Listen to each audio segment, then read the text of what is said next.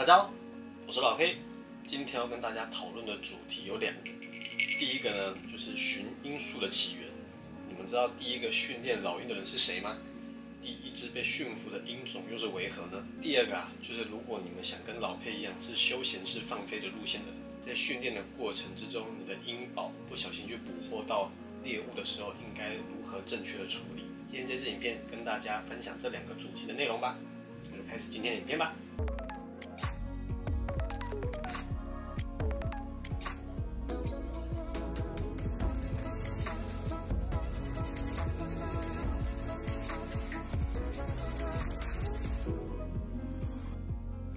寻鹰究竟起源何时何地？说真的，没有一个正确的书面资料、网络资料可以给出一个正确答案。那老 K 在翻找资料过程中啊，找到两个比较能说服大众的一个说法。第一个，那就是陪葬品，在古代的一些遗址啊、墓穴中有找到一些有关鹰猎文化的陪葬品，像是画作啊、雕像啊、陶瓷用具等等之类的。但是这不足以证明是英烈文化的起源，因为这只是足以证明那时候的时间跟地点曾经有人参与过这一项文化运动而已。那究竟起源何地呢？第二个说法，我觉得比较可以说服大家，那就是古代的丝绸之路。丝绸之路啊，在以前啊是全球最重要的贸易路线，很有可能啊，当时人们为了通过文化贸易的手法，将其寻音跟音乐的文化传统而散播到全世界各个角落。所以时间推演至今啊，你们会发现，其实在各个国家啊，寻音的技巧其实都大同小异，但是最最不一样的是文化这两个字。文化的形式呢，更包含了传统服装啊、食物啊、歌曲啊、舞蹈等等之类的。那时间推演至今啊，寻鹰这一项活动啊，已经融入了大家的生生活当中了，甚至有人作为娱乐活动啊，甚至环境保育这个地方。而且因为寻鹰的这项文化运动呢，更是激发了很多很多艺术创造的可能性，体现在了书籍啊、手稿啊、诗歌啊，甚至硬币跟邮票徽章上面。那讲到文化，比较知名的国家有哪一些呢？像是沙地阿拉伯。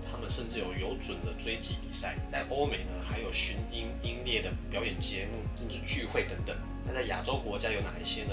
除了台湾之外，还有日本、泰国、越南，甚至内蒙古的金雕节。而金雕节会被大家广为人知呢？应该是在二零一六年的《女鹰猎人》这一部纪录片中。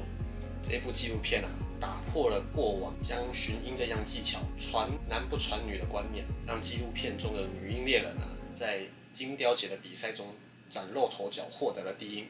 那如果各位对这种各国的鹰猎文化有相当感兴趣的话呢，记得在底下留言告诉老 K，我会再有机会跟大家再说明一下其他各国文化的不同。那讲到这里，台湾到底有没有属于自己的鹰猎文化呢？说真的，并没有明显属于台湾自己的鹰猎文化，因为台湾的动保医师团队太过强大了。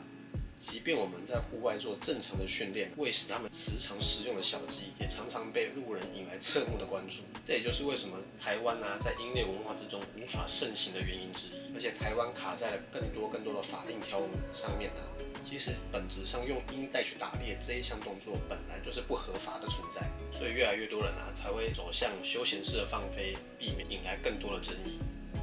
好。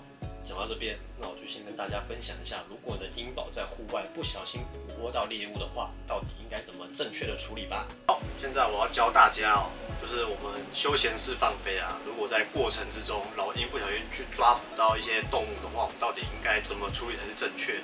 那等一下我就拿小宝来示范给你们看。那我刚好有一个玩具老鼠，可以做一个示范教材。OK 吗？那你们准备看接下来的画面吧。好。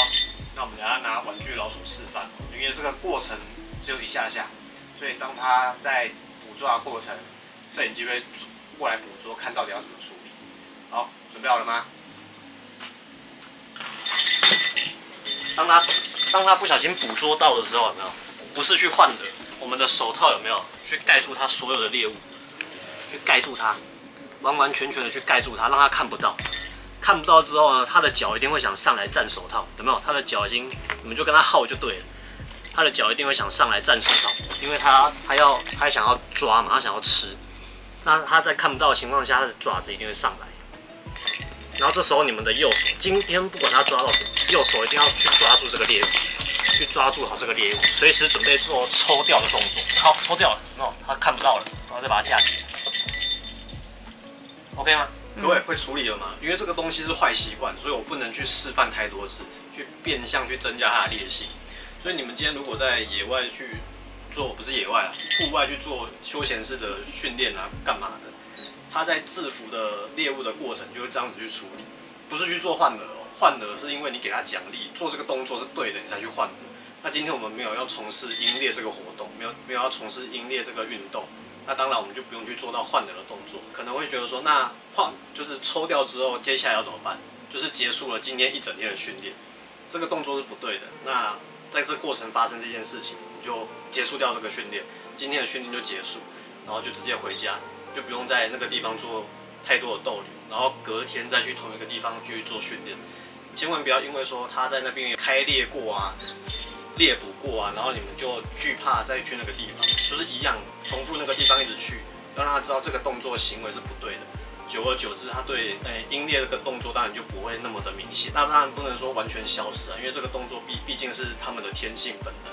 你看从以前到现在，我都没有训练过他们放猎，可是看到这个东西，他们还是会冲，这就是他们的本能。怎么处理才是正确的？今天就这样告诉你们吧，OK 吗？就分享到这边。分享到这边，其实啊，寻音术这项无形的文化遗产，尽管在全世界有关寻音的地方条件跟传统千差万别，但是台湾啊是亚洲少数有开放寻音的国家，我们是不是能更有所作为？其实啊，不少团队跟团体，除了透过合法的猛禽来做生态教育，甚至土地友善生态防治之下，让更多人认识我们手上的老鹰，也希望台湾啊，在未来可以发展出属于自己的寻鹰文化。那今天的影片就分享到这边，有什么疑问跟问题的话，欢迎在底下留言告诉我。喜欢的影片不要忘记按赞、订阅、加分享。我是老 K，下次影片见啦，拜拜。